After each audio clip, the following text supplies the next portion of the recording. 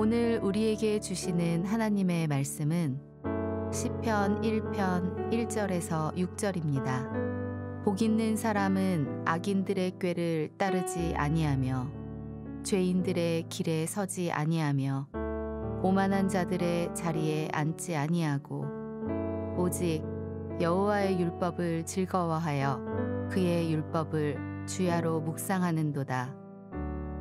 그는 시냇가에 심은 나무가 철을 따라 열매를 맺으며 그 잎사귀가 마르지 아니함 같으니 그가 하는 모든 일이 다 형통하리로다.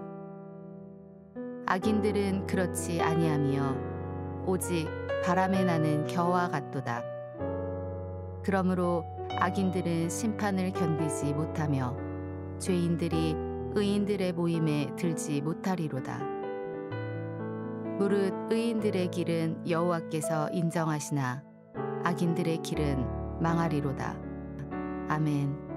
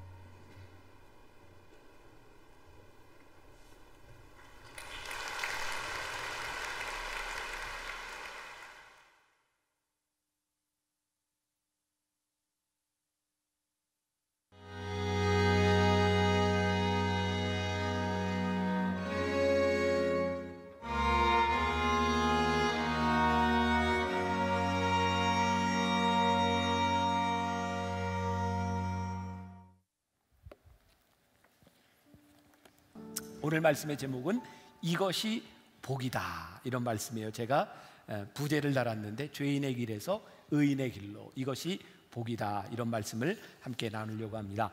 자 오늘부터 우리들이 12주 동안 나누게 될 이 시편은 1편부터 몇 편까지 있죠? 150편까지 150개의 시로 되어 있습니다. 이 시편의 전체의 주제를 이야기한다면 복입니다. 복. 아, 시편 기자는 이것이 복이다. 복 있는 사람은 어떤 사람인가라고 하는 걸 말씀하고 있고요. 그런 면에서 시편 1편은 굉장히 중요한 시편 전체의 주제를 아, 전달하고 있는 부분입니다. 아, 저는 성지순례를 참 많이 다녔습니다. 음, 제가 이렇게 꼭 가고 싶어서 간 그것보다는 제가 한 번 가고 나니까 너무 좋아서 우리 교인들이 좀 함께 갔으면 좋겠다. 그래서 매년 혹은 경년제로 교인들과 함께 갔고요. 또 여러분들이 예배를 통해서 보시면 알겠지만 예배 시간에 성지의 장면들을 이렇게 전달하면서 여러분들이 현실감 있게 말씀을 들을 수 있도록 아, 준비하면서 왔어요. 그런데 제가 성제를 갔던 대부분의 그 기간들을 보면 우리 교인들이 성지에 갈 수 있는 그런 시간들을 고려하다 보니까 소위 말하는 이스라엘의 건기에 저는 성지 순례를 갔습니다. 그러니까 제가 늘 보았던 장면은 황량한 광야 플러스 말라버린 나무들, 풀들, 황량함만 보았어요. 근데 저를 가이드하던 한 목사님이 저희 그런 얘기를 했 었, 거든요 목사님, 성지는 꼭 우기 때 한번 와봐야 이 말씀을 이해할 수 있습니다. 그 올해 우리 교인들과 함께 갔던 그 시기가 우기였어요. 정말 아름다운 꽃들이 있고요. 푸른 풀밭이 있고요. 아, 나무들을 보게 되면서 아 시편 기자가 오늘 1편을 썼을 때 제가 보았던 황량한 광야를 보고 쓴 것이 아니라 이 모습을 보고 썼구나라는 것을 느낄 수 있었어요. 어, 철을 따라 과실을 맺는다. 이것이 복이다라고 이야기하고 있는 거죠. 특별히 오늘 아, 이 연주하면서 함께 나왔던 어, 네게브 사막에 있는 아부닷 공원을 제가 우리 청년들과 함께 가게 되었을 텐데 차를 타고요 한참을 들어갔는데 정말 황량한 광야였어요. 근데 어느 순간 거기에 오아시스가 펼쳐지고요. 그 오아시스 옆에 있는 나무들을 보게 되었어요. 아, 이 모습이었구나.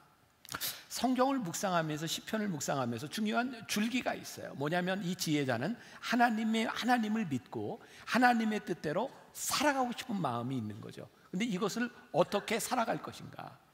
우리들의 삶은 늘 그런 것 같아요. 때로는 좌절도 있고 우리들의 인생에 광야의 시간들 또 실패의 순간들을 경험합니다. 그런데 우리들이 그 순간에 하나님을 찬양할 수 있는 이유, 우리들이 하나님의 약속 가운데 설 수 있는 그 이유는 무엇일까? 여러분 우리가 신앙을 가지고 이 세상에서 살아가는 게 얼마나 힘들어요. 여러분 우리 믿음 생활하는 게 참 바보처럼 느껴질 때가 있지 않습니까? 아, 이, 런 세상에서 이런 죄가 많은 세상에서 다 속이고 속고 거짓말하는 이 세상에서 우리들이 말씀대로 살아간다. 우리들에게요 악인의 심판과 의인의 최후 승리가 없다면 우리들이 믿음으로 살아가는 것이 결코 쉽지 않습니다. 시편 기자는 적어도 우리 신앙인들은 그런 고민을 가지고 살아가는 거예요. 하나님을 믿는다고 하는, 하는 것, 그것이 어떤 일인가? 그리고 우리들이 때때로 하나님 편에 섰다고 하지만 우리들의 인간적인 생각, 악한 생각들로 인하여 자꾸 하나님의 뜻을 벗어나려고 하는 우리 인생들에게 하나님의 뜻대로 살아가는 것은 어떤 것인가? 그러니까 우리의 신앙은요, 우리의 생각이 어떠하냐, 그것이 중요한 것이 아니라 하나님의 생각이 어떠하냐, 그것이 중요한 거예요. 오늘 시편 기자가 이야기하는 축복받은 사람 의인은 그리고 하나님이 저주하는 사람 그리고 악인의 삶의 기준은 어디에 있냐면 하나님의 생각이 어떠하냐 여기에 기준이 있는 거예요. 이거 우리들 굉장히 쉽고 간단한 것 같지만 우리의 신앙의 선명한 기준이 되는 거예요. 하나님의 생각이 어떠하냐. 이게 우리들 마음속에 살아 있어야 됩니다. 이사야 선지자는 이스라엘이 굉장히 어려운 때를 지나갈 때 하나님의 환상을 보고 또 예언을 했던 사람이기도 합니다. 이사야 55장 8절부터 9절까지의 이런 말씀이 있어요. 뭐 같이 봉독해 보겠습니다. 시작. 이는 내 생각이 너희의 생각과 다르며 내 길은 너희의 길과 다름이니라 여호와의 말씀이니라. 이는 하늘이 땅보다 높음 같이 내 길은 너희의 길보다 높으며 내 생각은 너희의 생각보다 높음이니라.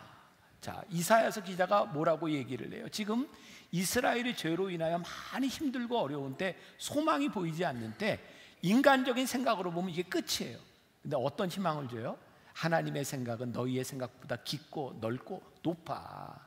오늘 우리들에게 이 믿음이 없다면 신앙을 가지고 살아가는 게 참 힘든 일이죠. 창세기 12장에 보면 우리가 잘 아는 아브라함의 이야기가 나와요. 여러분 생각해 보세요. 아니 성경을 보세요.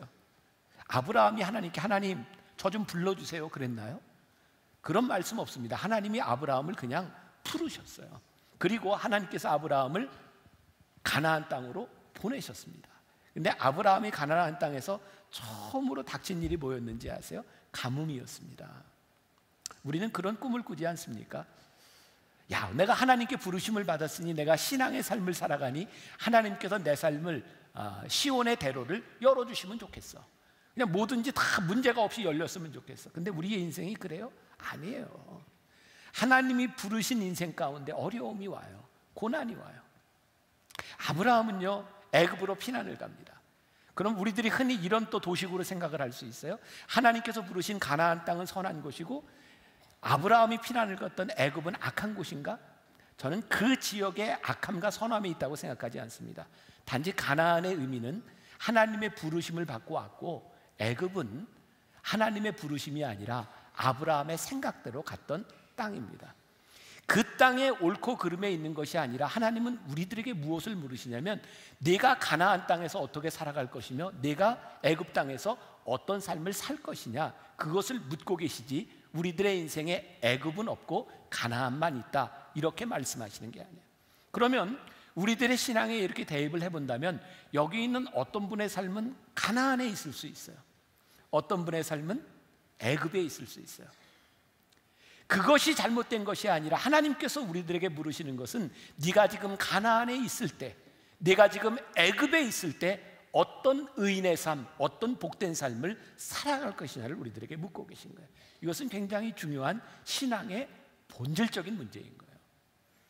여호와의 율법을 우리들이 즐거워해야 한다. 아, 그 인터넷에 떠돌고 있는 어떤 이야기 가운데 아, 적용해 볼 수 있을 만 좋은 이야기가 있는데 여러분들 긴 터널을 지나갈 때 터널 지나갈 때 세 가지 규칙이 있대요. 첫 번째 창문을 닫아야 한다. 맞아요?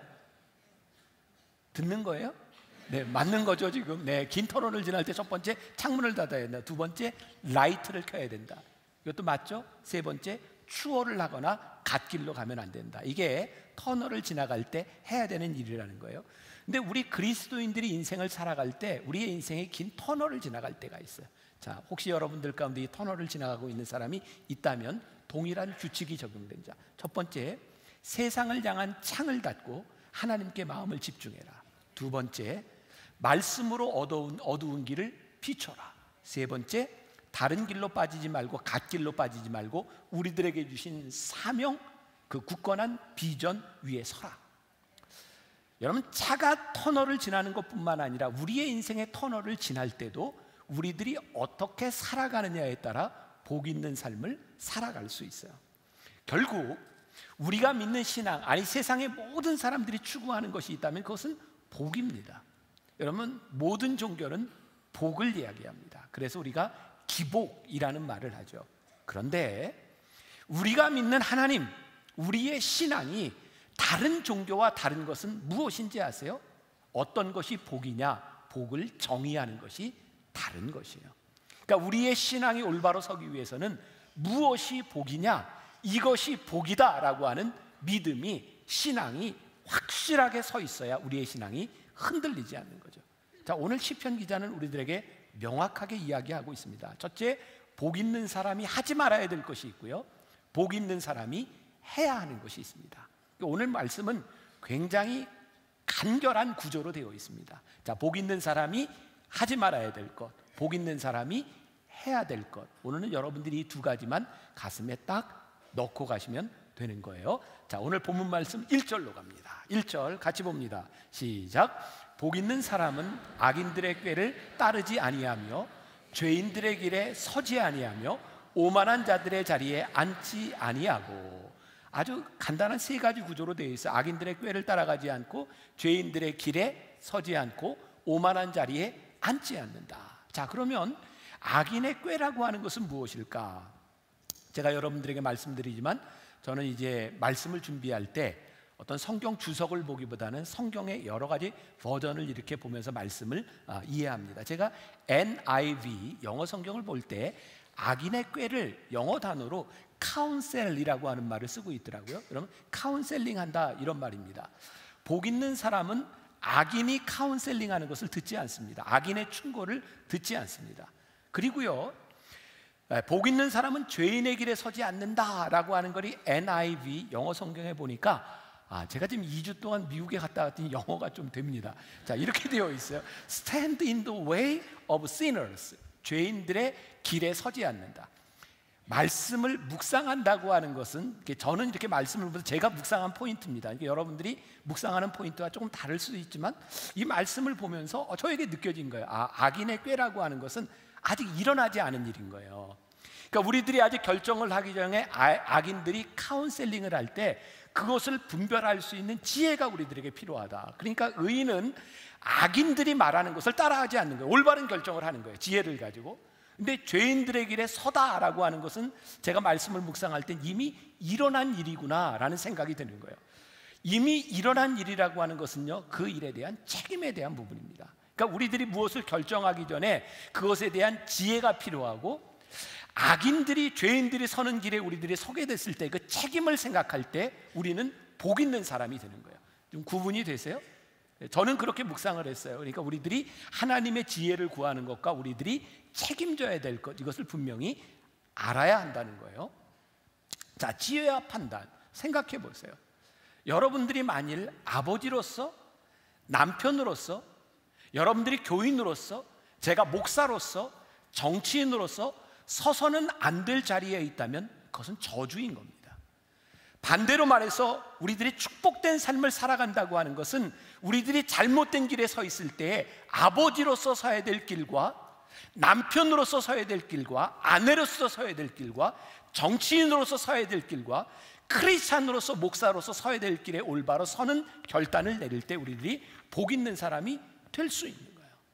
자, 제가 오늘 말씀을 준비하면서 읽었던 책 중에 여러분들에게 지금 소개하기는 조금 어려운 책인데 중국의 문인이자 법학자인 오경웅이라고 하는 사람이 쓴 시편 사색이라는 책이 있습니다. 책도 굉장히 두껍고 제가 12편을 인용하는 동안 제가 그냥 알려드릴 테니까 이 책을 사서 읽겠다 이런 무모한 일은 안 하셔도 괜찮습니다. 굉장히 어려운 책입니다. 제가 그냥 여러분들에게 얘기할 거예요. 이 책에 보면 이 오경웅 씨가 이 1편에서요. 의인과 악인 그것을 동양적인 사고에서 군자와 소인이라고 하는 걸로 대비해서 이야기하고 있는 구절이 있는데 괜찮아요. 읽어드릴까요? 정말 이렇게 원하시니까 제가 읽어드려야 될 것 같아요. 들어보세요. 자, 군자는 하늘을 담고자 하나 소인은 제 주위에서 자신과 비슷한 무리를 쫓는다. 진리의 길을 외면하는 무도한 자들은 늘 무리를 짓고 저들끼리 쑥덕이며 자신들의 의를 생산해낸다. 그러나 결국 그들은 악을 꾀하는 소인배일 뿐이다. 군자가 그들과 함께하지 않는 것은 하늘을 우러러 부끄럽지 않기 위함이다. 군자가 저하는 바는 남의 평가가 아니다. 이 동양적 사고에서 참 좋은 그런 통찰이라고 생각해요. 의인과 악인, 군자와 소인. 소인은 지들끼리 몰려 살아가면서 지들끼리 이야기하는 자신들의 꾀를 구해요. 근데 그것이 악해요. 군자는 의인은 하나님을 바라보며 하나님의 평가를 바라는 사람이기 때문에 그렇게 죄에 쉽게 넘어가지 않는 사람이에요. 의인과 악인, 군자와 소인으로 이렇게 대입해서 이야기를 하고 있어요. 또 제가 이 말씀을 준비하는 기간 중에 읽었던 시편하고는 관계없는데 홍관수라고 하는 분이 의사인데 이런 책을 써서 참 제목이 담대하죠. 나는 착한 아내가 싫다. 어, 이런 책을 썼어요. 여기에 어, 이 아내하고는 별로 관계가 없는 자기 꾀에 넘어간 환자, 본인이 의사니까 환자에 대한 이야기를 하고 있는데요. 진료를 하다 보면 이런저런 환자를 보게 되는데 진료실에서 꾀를 부리고 자기 꾀에 넘어가는 환자의 유형. 근데 이게 우리들이 신앙에 대입해 볼 만 해요. 첫 번째, 의사에게 정보를 주지 않는 환자들이 있대요. 환자가 의사한테 가서 이 의사가 얼마나 용한가 의사면 알아야지. 그래서 아픈 얘기를 안 해주고 맞춰보세요. 뭐 이런, 이런다는 거죠. 우리가 마치 하나님 앞에서 늘 하나님을 테스트하고 싶은 거예요. 하나님 아시잖아요. 알아서 하세요. 그리고 자기가 할 일을 다 하는 이 문진이라고 하는 게 굉장히 중요합니다. 의사들에게 정확히 우리들의 삶을 이해하게 되는데 그렇지 않으면서 자기 꾀에 넘어가는 유형이 있다. 또 두 번째 당뇨병 환자 같은 사람이 있는데요. 평소에 먹고 싶은 거 다 먹고 병원 가기 하루 전날 음식을 절제하는 거죠. 그래서 혈당 치수를 내리는 겁니다. 그런데 여러분들 아시잖아요. 당뇨가 그 당으로만 체크하는 게 아니라 당화 혈색소라는 게 있어서 세 달치의 통계가 이 몸에 축적된 것이 그대로 드러나는 것을 통해서 어떻게 살았는지를 안다는 거예요. 요 당뇨 환자 같은 교인들이 있다는 거예요. 5일 동안 마음대로 살고 주일날 다가오면 조금 조심해서 와요. 하나님 다 알아요. 어, 우리 꾀부리는 거 안다. 세 번째, 자기가 진단을 내리는 유형입니다. 이게 의사들에게 제일 힘든 사람이 뭐냐면 정확하게 병을 이야기해야 되는데 이미 자기가 진단을 해가지고 와서 처방까지 내려가지고 오는 거예요. 어, 결국 의사에게 찾아가지만 자기의 방법대로 살아가는 유형이 있다. 또 이제 네 번째, 다섯 번째 유형에서 병이 있는데도 병원에 안 가다가 찾아오는 사람, 또 자기가 건강한데 큰 병이 있다고 여기는 사람, 결국 자기가 생각하는 자기의 꾀에 빠지는 사람이 있다는. 여러분, 우리가 하나님 앞에 복 있는 사람이 된다고 하는 것은 어떤 사람이냐? 하나님 앞에 서는 거예요. 시편 기자는 아, 죄인들에게 길에 서지 않고 아, 그러면서 세 번째 오만한 자의 자리에 앉지 않는다라고 되어 있는데 여기에는 또 현대인의 성경을 보니까 이렇게 표현이 되어 있더라고요. 하나님을 조롱하는 자들과 어울리지 않는다. 그러니까 복 있는 사람은 하나님을 조롱하는 자들과 어울리지 않아요. 메시지 성경에서 이 1절을 이렇게 표현하는데 아주 재밌게 표현했어요. 읽어 드릴게요. 메시지 성경의 1절. 그대 하나님께서 좋아하실 수밖에 죄악 속으로 들락거리기를 하나 망할 길에 얼씬거리길 하나 배웠다고 입만 살아있길 하나 하, 잘 표현을 했어요 자 이렇게 하지 않는 사람 복이 있다 이제 두 번째 복 있는 사람은 이런 사람이다 라고 하는 것을 시편이 대꾸법을 써서 이야기하고 있어요 시편은 굉장히 문학적인 글입니다 그래서 시편을 보다 보면 문학적으로 여러 가지 유형들이 나오고요. 문학적인 기법들이 나오는데 대꾸법이라는 게 있어요. 이렇게 악인에 대해서 얘기하고 의인에 대해서 얘기하고 하지 말아야 될 것에 이야기하고 할 것에 대해서 이야기하고 그 여러분들이 시편을 볼 때는 문학 작품 시를 읽듯이 보는 것이 시편을 읽는 굉장히 중요한 방법 가운데 하나입니다. 1절에 악인이 하지 말아야 될 것을 대꾸법으로 이전에 아, 의인이 하지 말아야 될 것 2절의 대꾸법으로 의인은 이래야 된다 이야기하고 있어요. 자, 흥미롭게 보세요. 2절 같이 봅니다. 시작. 오직 아, 같이 봅니다. 다시 시작. 오직 여호와의 율법을 즐거워하여 그의 율법을 쥐하러 묵상하는 자로다. 자 이제 의인 복 있는 사람은 어떤 사람이라고 이야기하냐면 여호와의 율법을 즐거워한다 되어 있어요. 제가 미국 갔다 온 기념으로 또 NIV 성경을 조금 인용을 해볼게요. NIV 성경에 보니까 이렇게 표현이 되어 있더라고요. 똑같은 말이에요. But His delight is in the law of the Lord라고 되어 있어요. 그의 기쁨이 무엇이냐? 주님의 법 안에 있는 것이 기쁨이다. 여호와의 율법을 즐거워한다 말인데 영어로 보니까 조금 더 의미가 와닿는 것 같아요. And on his law he meditate day and night. 그래서 그는 여호와의 율법, 그의 즐거움이 여호와의 율법 안에 있기 때문에 밤낮으로 율법을 meditate, 묵상한다라고 되어 있어요. 제가 83학번입니다. 아마 여기에 이제 저와 비슷한 또래에 있던 분이거나 위아래로 있는 분이면 학교를 다닐 때 생각해 보면 우리 때는 별로 이렇게 놀 수 있는 게 없었던 것 같아요. 대개 대학 가면 남자들은 뭐 당구를 치든지 혹은 미팅을 하든지 뭐 그 정도였던 것 같아요. 그래서 저도 대학교 1학년 때 당구를 참 열심히 쳤어요. 그러니까 대개 당구를 처음 배울 때 사람들이 동일하게 겪는 현상이 있는데 당구가 너무너무 재미있는데 이게 돈이 들어가니까 그 시대에는 이렇게 많이 치지도 못했다고요. 그래서 밤에 와서 잠을 자려고 딱 누우면 요 천정이 어떻게 생겼어요? 사각형으로 생겼으니까 그게 당구대로 그려지고 이렇게 이제 쿠션을 이렇게 아 이렇게 맞으면 이렇게 가겠지 뭐 이렇게 그려진다는 거예요. 어떤 목사님이요 목사가 돼서 당구를 배웠는데 너무 너무 재밌대요. 설교 시간에 설교를 하고 섰는데 사람들 머리가 다 이렇게 쿠션으로 보이더래요. 자 재밌으면 그것이 생각나는 그게 묵상인 거예요. 즐거워하는 것이 내 안에서 기쁨으로 계속해서 나타나는 거죠.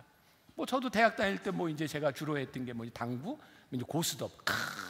고스톱 치다가 그 고돌이를 했는데 그게 그 그게 딱 해서 고를 냈다가 피박을 쓴 거. 막 그게 막 잊혀지지 않는 거야. 아, 고돌이, 청단, 홍단 막그 생각나는 거. 그런데요. 그렇게 당구 치고 고스톱 치고 좋아하던 사람이요. 연애를 딱 시작하잖아요. 고스톱 안 쳐요. 당구 안 쳐요. 참 신기하죠. 사람은 자기가 즐거워하는 일에 집중해요. 시편 기자가 우리들에게 이야기하는 겁니다. 복 있는 사람은 여호와의 율법을 즐거워하여 그 율법을 취하로 묵상하는 자다. 오늘 제가 이 말씀을 여러분들에게 전할 수 있는 참 하나님 감사합니다. 만일 제가 이 말씀을 묵상하지 않고 말씀이 즐겁지 않다면 제가 말씀을 전하는 제가 얼마나 힘들고 괴롭겠어요. 근데 오늘 아침에도 제가 새벽에 일어나서 이제 말씀을 또 듣고 읽고 왔는데 요즘 너무 재밌는 거예요. 그러니까 매일 새벽마다 일어나서 저는 이렇게 말씀을 들어요. 즐거워요. 어, 또 들어요. 재밌어요. 어, 그러니까 오늘 설교를 하면서 좋은 거예요. 아, 좋아요. 말씀을 읽는 것이 즐겁다. 이게 말씀이 즐거우니까 우리들에게 묵상이 되고 이것이 복이구나. 생각될 때 이 말씀이 우리들에게 묵상이 되는 거예요. 1988년 제가 첫 목회를 나갔을 때입니다. 전도사로 나갔는데 아마 이제 그 전도사 시간을 이제 지나면 저는 군목으로 가게 돼 있었어요.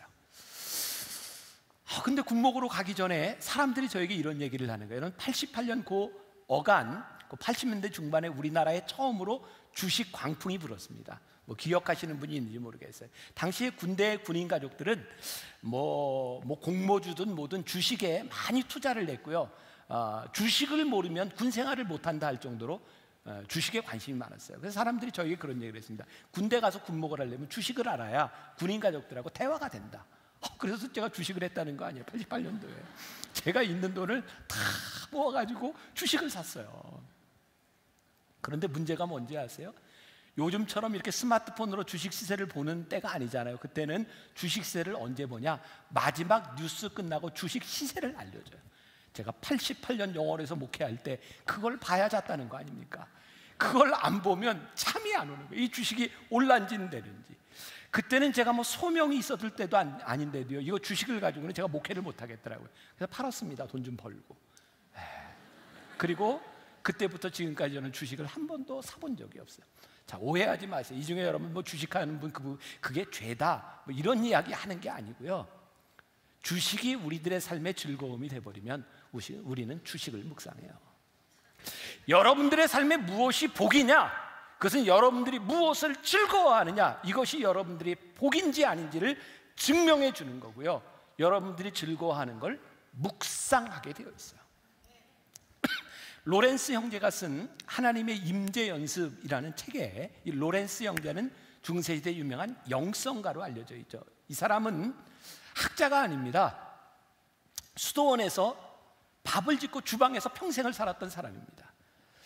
아, 이 사람은 이런 이야기를 하죠. 기도 시간을 다른 시간들과 특별히 다르게 생각하는 것이야말로 중대한 과오다. 사람들이 이 로렌스 형경에 묻습니다. 당신은 이렇게 밥만 하고 이런 것들이 어떻다고 생각합니까? 근데 그 사람은 이 밥과 밥하는 일과 영성을 분리하지 않았어요. 내가 기도하는 마음으로 밥을 짓는다고. 여러분 생각해 보세요. 내가 기도하는 시간이 정해져 있고 내가 세상에서 사는 시간이 정해져 있다면 성경에서 쉬지 말고 기도하라는 삶을 우리들이 어떻게 살아갑니까? 불가능한 거예요. 우리가 말씀을 묵상하는 시간이 따로 정해져 있고 우리들이 세상에서 살아가는 시간이 이렇게 완전하게 이분법적으로 나눠져 있다면 우리들이 밤낮으로 여호와의 말씀을 묵상하는 복 있는 자의 삶을 우리들이 어떻게 살아갑니까? 이것은 불가능한 일이죠. 로렌스 형제가 얘기했던 것처럼 아니 성경에서 우리들에게 이야기하는 것은 우리들이 기도한다라고 하는 것은요 기도하는 시간과 살아가는 시간이 분리된 것이 아니라 기도하는 삶을 살아가고 기도하는 마음으로 살아가는 것이고 우리들이 밤낮으로 하나님의 말씀을 묵상한다고 하는 것은 묵상하는 시간이 새벽에 끝나고 우리들의 삶을 살아가는 것이 아니라 하나님의 말씀을 묵상하는 마음으로 그 말씀이 우리들에게 살아 있어서 이 말씀을 가지고 우리의 인생을 살아가는 것이 복 있는 자라고 말씀하고 그러니까 오늘 이 말씀이 우리들에게 주는 아주 강력한 도전인 거죠. 우리가 여호와의 말씀을 즐거워하여 이 말씀이 밤낮으로 묵상됨으로 인하여 이 말씀이 우리 안에 살아있는 삶을 살아가는가 이것이 복 있는 자라 성경이 우리들에게 말씀하고 있는 거예요. 자, 그러면 이렇게 묵상하는 자의 복이 무엇이냐? 3절로 넘어갑니다. 같이 봅니다. 자, 시작.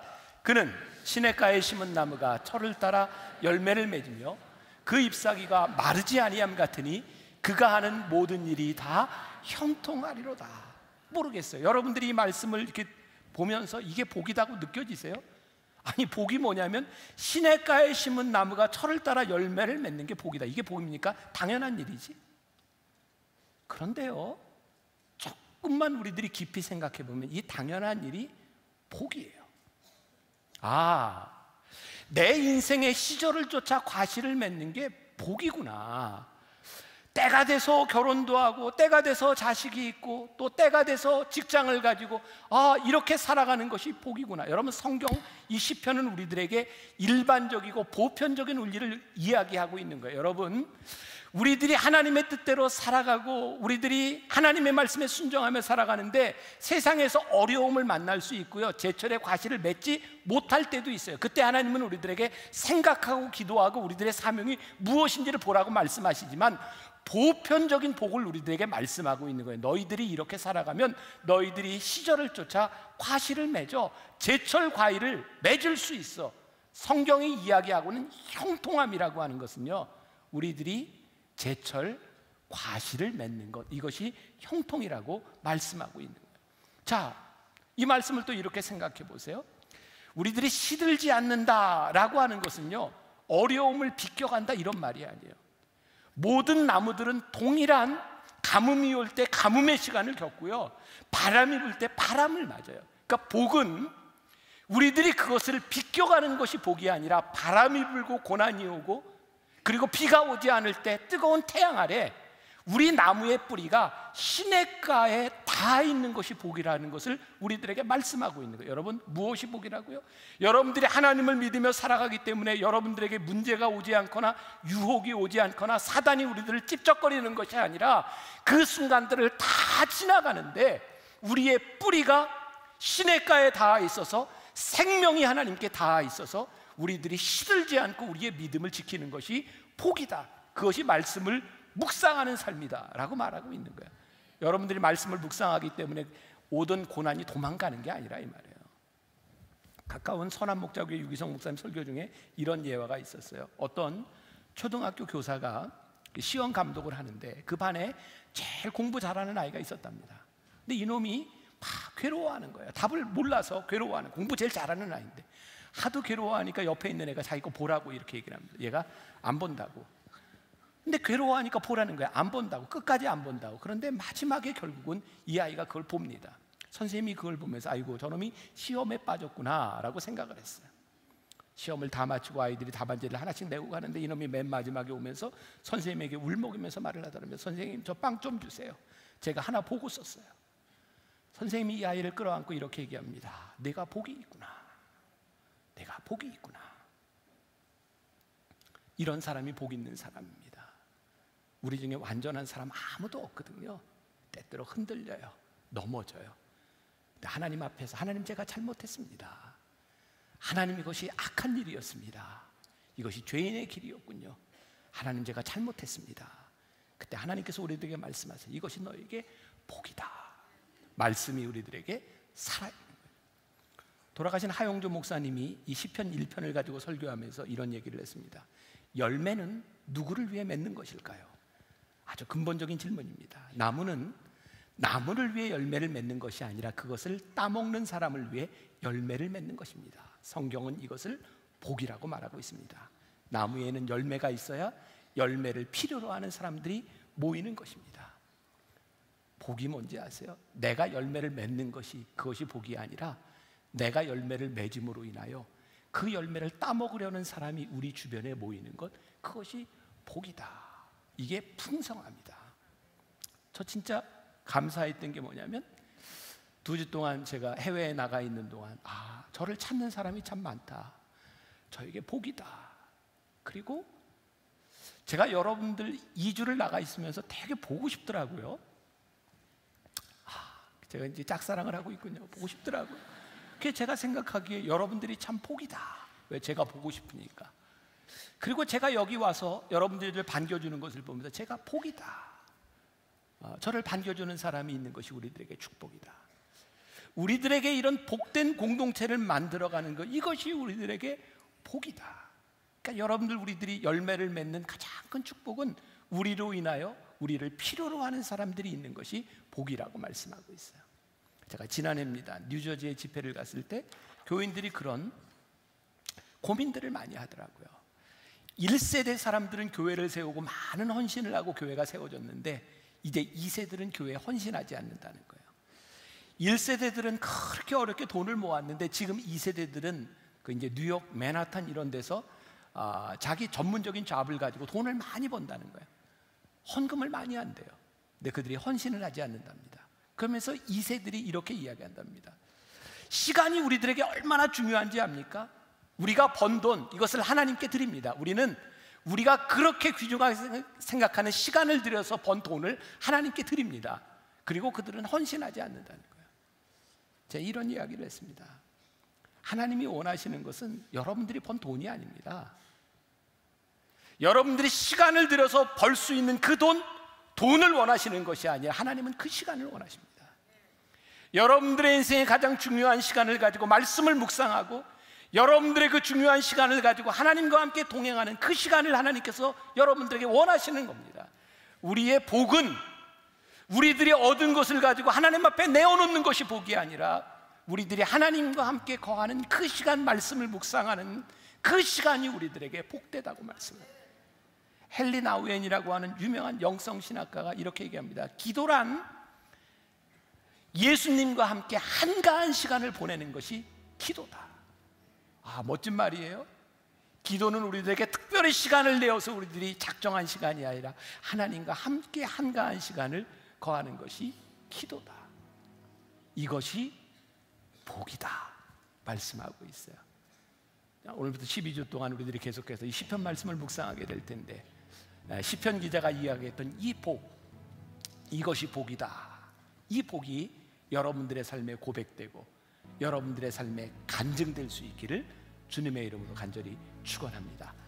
제가 말씀을 이렇게 묵상하고 마지막에 이 말씀에 우리들이 리스판스 반응을 했으면 좋겠다. 근데 여러분들에게 시키면 잘 안 할 것 같아서 자 우리 부목사님 중에 이 말씀에 한번 반응을 해라 그랬어요. 이건 여담인데요. 이거 제가 누구를 비하하거나 이런 게 그냥 농담으로 조크로 들으셔야 돼요. 여러분 혹시 코끼리를 냉장고에 넣는 방법이 뭔지 아세요? 그건 목사들 사이에서만 유행하는 말인데요. 부목사 시키면 그냥 들어간답니다. 그러니까 우리 부목사님들은요. 그러니까 이게 지금 오해하시면 안 돼요. 막뭘 시키나 이런 의미가 아니라 제가 우리 부목사님에게 이 말씀에 대한 반응을 한번 하라 그랬을 때 했을까요? 안 했을까요? 어, 했, 나요한 목사님 기쁨으로 했어요? 아니면 억지로 했어요? 어, 기쁨으로 했대잖아요. 네. 자, 우리 목사님이 이 말씀에 대한 반응을 우리들이 한번 듣고 우리들이 찬양으로 이렇게 한번 결단하면 좋겠습니다. 네, 목회하시는 저희 부모님 이야기를 좀 나누고자 합니다. 또 나눌 수 있는 것 자체가 복이라고 생각하고 준비해온 글을 읽겠습니다.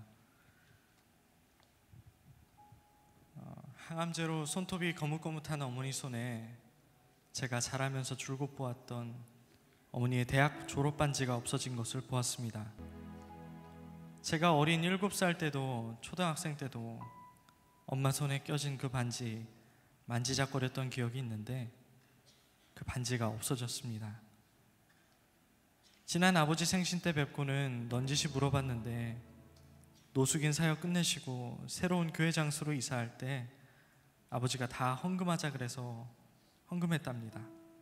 그건 다시 돌아오는 반지가 아닌데 생각해 보니까 아버지는 기도원 가서 예물 시계도 드릴 칠 정도로 그런 분이었던 걸 알았는데도 엄마 손에 반지가 없어졌다는 사실은 내심 속상했습니다. 그런데 이 두 분 세상 사람 같았으면 진즉 내려놓았을 목회 아직도 하십니다. 새벽 기도에 누가 보지 않아도 몇 시간씩 기도하십니다. 밤낮으로 말씀 읽는 것이 기쁨이라고 하십니다. 그리고 아직도 제게 하나님을 선택하는 것이 복이 되고 드리는 것이 복되고 나누는 것이 복이라고 말씀하십니다. 그래서 저는 복된 인생이 무엇인지 분명히 알게 되었습니다. 제게 진정한 복된 삶이 무엇인지 가르쳐 주신 또 말씀대로 사는 것을 인생의 가장 가장 참된 가치로 여기시는 복된 두 분의 인생을 담아서 찬양 나누려고 합니다.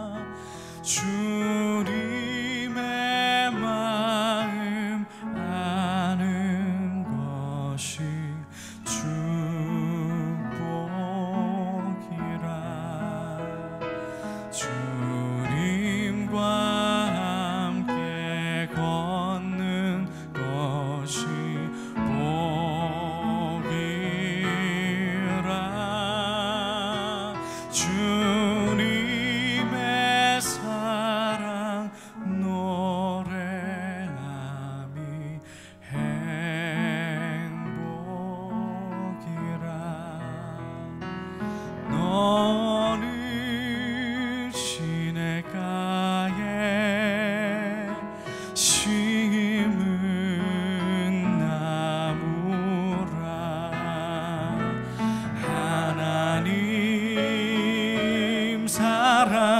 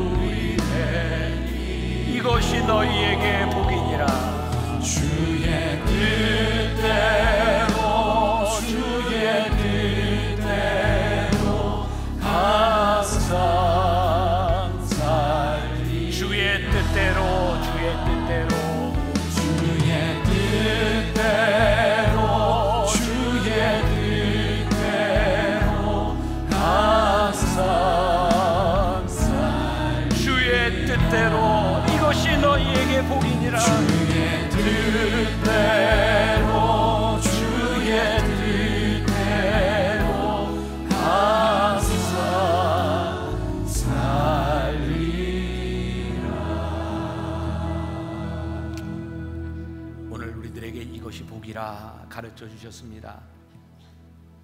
악인들의 꾀를 따라가지 아니하고 죄인의 길에 서지 아니하고 오만한 자리에 앉지 않는 것 이것이 복이니라. 너희들이 여호와의 율법을 즐거워하여 밤낮으로 묵상하는 것 그것이 너희들에게 복이니라. 너희들이 시절을 쫓아 과실을 맺는 것 그것이 너희들에게 복이니라. 하나님, 우리 사랑하는 성도들 이 땅 위에 살아가는 동안 이 복된 삶 살게 하여 주옵소서. 오늘도 하나님 앞에 드려진 귀한 예물들과 우리의 헌신들이 있습니다. 무엇보다 하나님이 기뻐하시는 것, 주와 함께 거하는 것, 그것이 주의 기쁨을 깨달아 알게 하여 주옵시고 오늘 우리들이 드려진 이 귀한 헌신들이 하나님의 나라를 위한 귀한 열매들이 되어서 많은 사람들에게 유익을 끼치고 주의 은혜와 축복을 나누는 귀한 예물이 되도록 축복하여 주옵소서. 지금은 우리 주 예수 그리스도의 은혜와 하나님 아버지의 무한하신 사랑과 성령의 인도하심이 이것이 복임을 믿고 이 세상으로 나가는 당신의 사랑하는 모든 백성들 위해 지금부터 영원까지 함께 하시기를 간절히 축원하옵나이다. 아멘.